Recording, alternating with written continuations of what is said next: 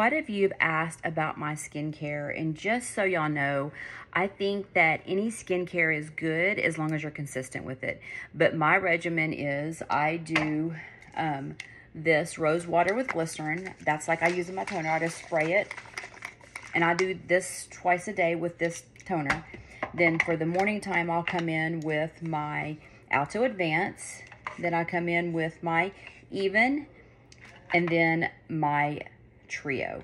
These are three steps, and if you can't do all three steps, get this.